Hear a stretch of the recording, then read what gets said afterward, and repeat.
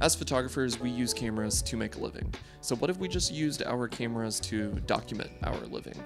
I think as a photographer, one of the most important things we can do is just have a camera that we can use to document our daily life with. As I've grown as a photographer, I've actually been taking less and less photos, only when the time is right.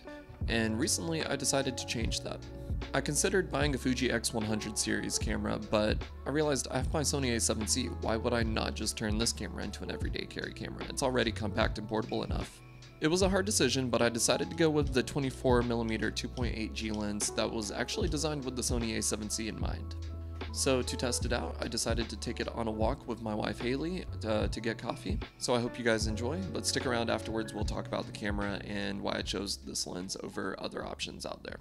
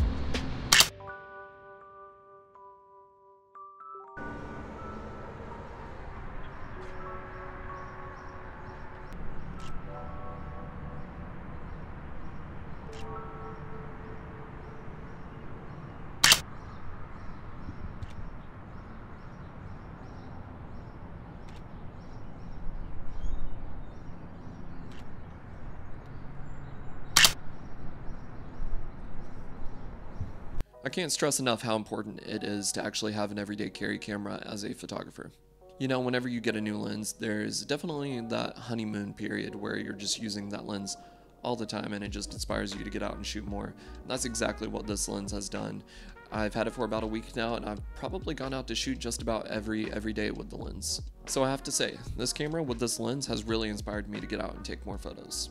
Now some of you guys might be wondering why I decided to go with the 24mm lens over say the Sigma 35 f2 or the Sony 40G lens that was also released. Because the 24mm lens is actually known to have some pretty crazy distortion issues.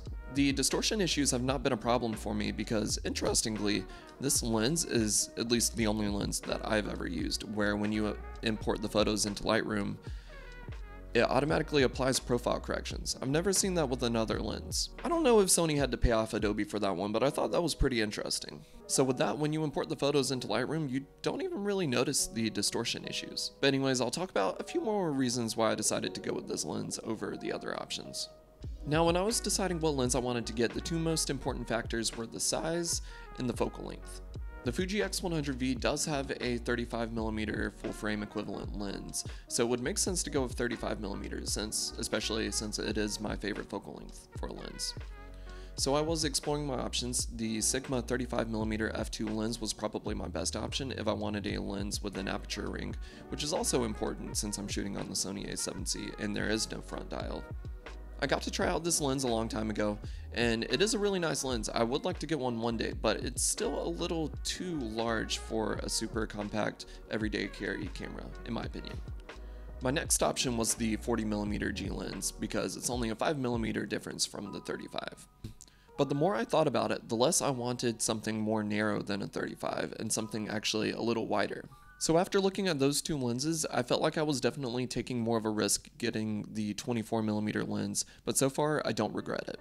And the 24mm actually came in super handy when I was taking photos of my wife indoors inside the coffee shop. 24mm is a super versatile focal length, especially when you're working indoors and you don't have a whole lot of space and you don't want to have to get in other people's space. So working with 24mm gives you a lot more flexibility with what you can do. I also picked up this really neat lens hood on Amazon. It's about $45, but it's designed to fit the G series compact lenses. So it fits on all three lenses, the 24, the 40, and the 50. It's definitely more of a vintage style lens hood, but it adds a very nice aesthetic to the camera. It might not be as compact as a Fuji X100V, but I absolutely love it and it's easy to carry around, especially when paired with my Clever Supply Co strap as well. So if you found this video helpful, I have a lot of other videos about the Sony a7C that you might find useful. From my favorite lenses to how I edit my photos I shoot on the Sony a7C. I enjoy making these videos because I love this camera and I know other people do as well. That said, if you enjoyed the small photo walk portion of this video, I have other videos like that on my channel, so feel free to go check those out as well. I will have a playlist at the end of this video that you can click on to watch those videos. So if you enjoyed this video, feel free to subscribe, also like the video to help support me so I can continue growing and reaching a larger audience. And I hope I could inspire you to get out and take more photos. Go out and shoot.